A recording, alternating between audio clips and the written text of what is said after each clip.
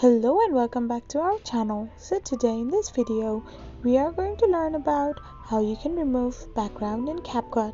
So without wasting much of our time, let's get straight into the video.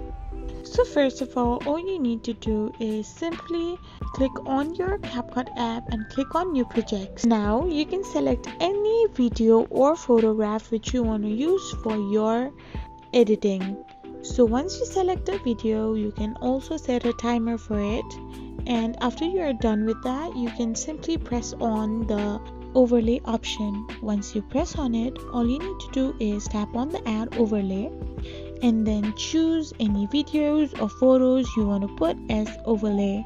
Now after preview you can simply add it on and all you need to do now is click on the video which will then give you several options from which you need to simply scroll and then select the cutout option. Once you choose it, simply tap on remove background and then press on the tick button.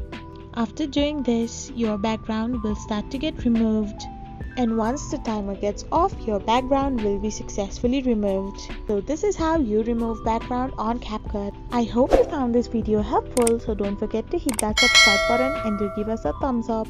Thank you for watching.